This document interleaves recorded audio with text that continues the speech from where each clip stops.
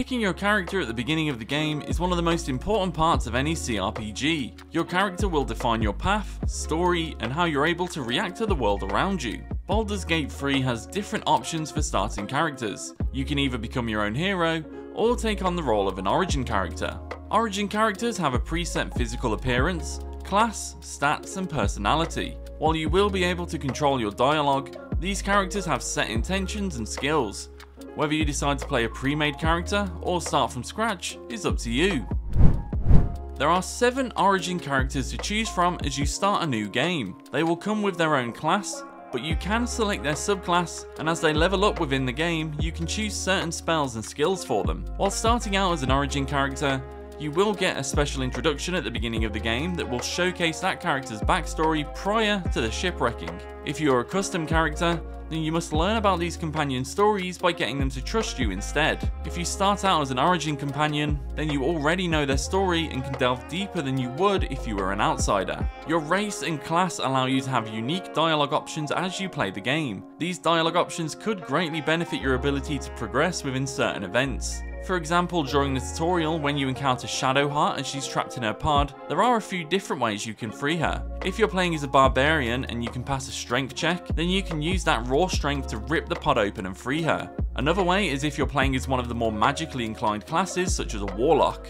Instead of relying on raw strength like the barbarian, you can identify the wards that are keeping the pod shut, and then use this knowledge to open it up and free Shadowheart.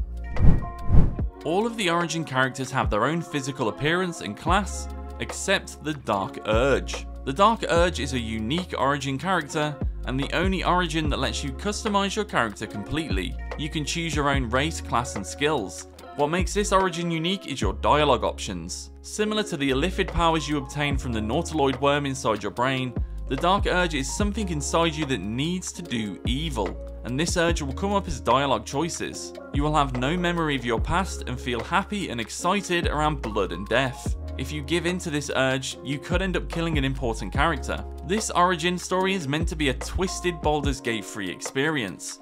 The Dark Urge will sometimes push you to kill without your consent. Even if you choose this origin character, you do not have to give into or agree with the evil things it wants you to do. Your choices are still your own to make, but you will be experiencing things in the game differently as you try to fight it.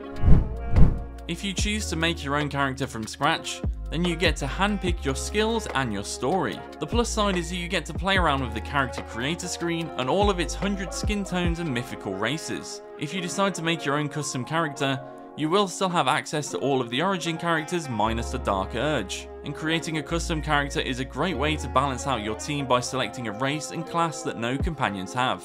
Gaining the companion's trust and approval will allow you to delve into their personal story and side quests. It will just take longer to find out their story than if you were playing as them. You can also control your companions by selecting their icons while they're in the party with you. You can walk around as them and talk to people as them. Because of this, you can have the best of both worlds by choosing a custom character. So, that's the difference between an origin character and a custom character in Baldur's Gate 3. I've been Luke Gould, thanks for watching, and check out thegamer.com for more.